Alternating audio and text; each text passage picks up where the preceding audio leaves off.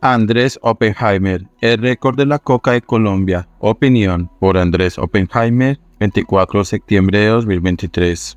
Un nuevo informe de las Naciones Unidas según el cual los cultivos de coca en Colombia alcanzaron un récord histórico el año pasado, atrajo relativamente poca atención internacional. Sin embargo, debería ser el tema del día en todo el continente, porque es muy probable que resulte en un aumento del consumo de cocaína y de la violencia en toda América Latina. Aunque Colombia ha sido desde hace mucho tiempo el mayor productor de cocaína del mundo, este nuevo aumento en las áreas de plantaciones de coca va a enriquecer aún más a los grupos armados violentos que controlan este negocio ilegal, dicen los expertos. Muchos de estos grupos armados están integrados por guerrilleros de las disueltas Fuerzas Armadas Revolucionarias de Colombia, Según el nuevo informe de la Oficina de las Naciones Unidas contra la Droga y el Delito, la superficie plantada de arbustos de coca en Colombia aumentó un 13% el año pasado a un máximo histórico de 230.000 hectáreas. La producción colombiana de cocaína, la droga producida a base de la coca, aumentó un 24% según el informe. Candice Welsh, jefe de la Oficina Sudamericana de la UNOT, me dijo que las áreas cultivadas con coca también aumentaron un 18% en Perú el año pasado y en Bolivia, aunque no hay cifras recientes, hubo un aumento del 4% un año antes.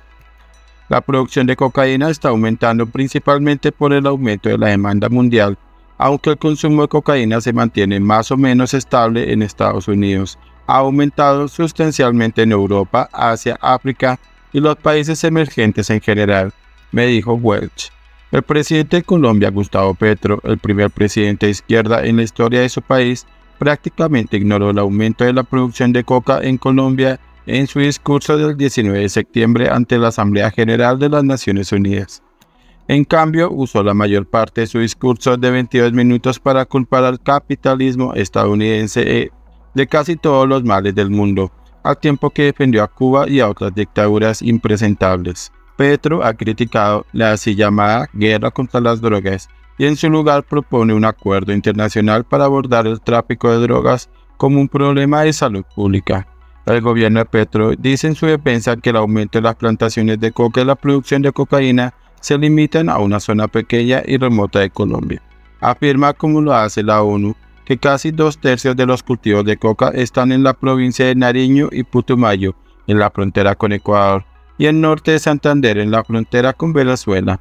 El ministro de Justicia de Colombia, Néstor Osuna, me dijo en una entrevista que la producción de coca y cocaína en Colombia ya está aumentando desde antes del gobierno Petro y que la razón principal es el aumento en la demanda internacional de cocaína dijo que el aumento de la producción de cocaína en su país está comenzando a estabilizarse y que está limitando a esas áreas reducidas donde grupos armados ilegales controlan territorios. No hay cultivos de coca cerca de Bogotá ni cerca de Medellín, me dijo Zuna, agregando que el problema se da en áreas remotas del país donde el Estado tiene poca presencia. Aunque es cierto que la clave para combatir el narcotráfico es reducir el consumo de drogas, no me convence el argumento del gobierno de Colombia de que el problema radica en una pequeña zona del país. Esto suena como decir, tengo un cáncer pero está limitado al páncreas y el resto del cuerpo está fenomenal.